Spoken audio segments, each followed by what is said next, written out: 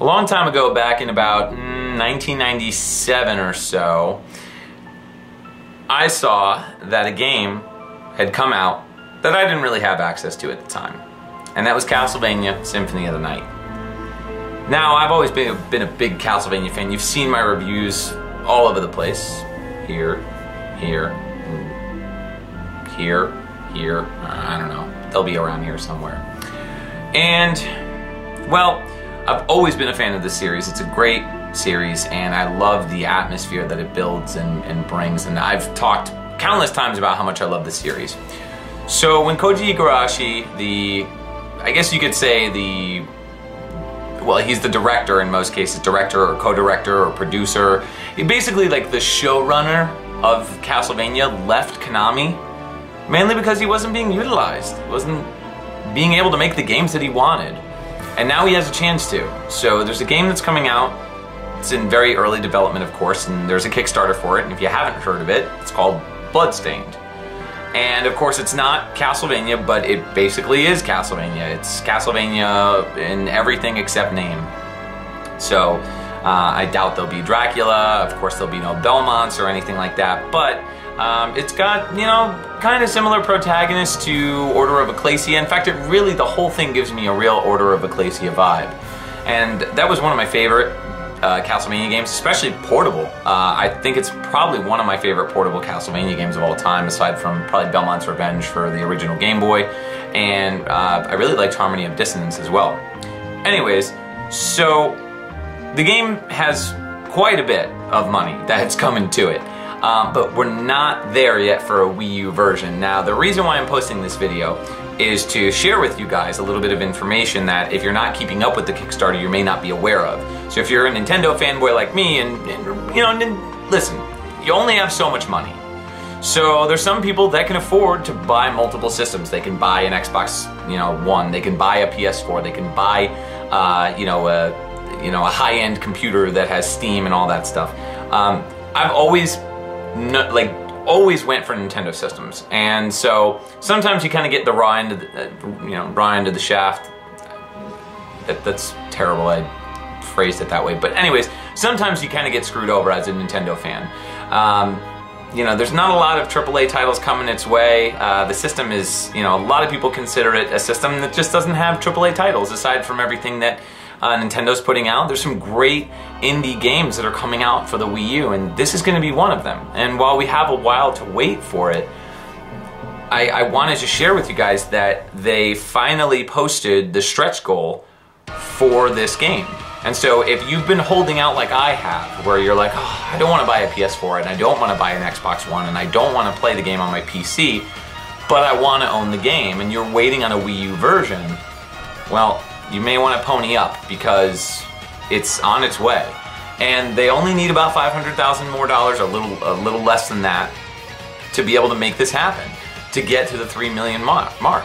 So if you are a Castlevania fan, if you are a Nintendo fan, if you have a Wii U, and you want to play a game that's getting a physical release, supposedly, they one of the concerns that I had was that they'll do a digital version of the Wii U version and they won't give us a physical version. I hope that that's not the case. I've posted on the Facebook page for Bloodstained trying to get some clar clarifying information in regards to that. I'm hoping that we get an answer soon because I want to be able to get a physical version. But to be honest, even if I can get a digital version, I'll go for it. I'll go for the Wii U version. Um, as much as it pains me to say I prefer, you know, uh, physical copies to digital copies, I'd rather get the game on the system of my choice and not so much worry about the physical stuff. But obviously, if I can get the physical stuff, you know, get, a, get an actual box and everything, and manual instructions and all the Kickstarter goodies, I will seriously pony up some money for that. Can't believe I just said pony up twice in one video. Anyways, you guys should seriously check this out if you are a Wii U owner. This is a game to get excited about. It is down the road, so it's not immediate, but I would definitely recommend donating if you can. So again, this is for all the people, this video is for all the people like me who are Wii U owners and are just like, man, I just want the Wii U version, the stretch goal to come out. Well, it is out. I'm gonna post a picture. And as you can see, they've kind of highlighted, you can't really see it that well, so um, there's another photo, which, here it is.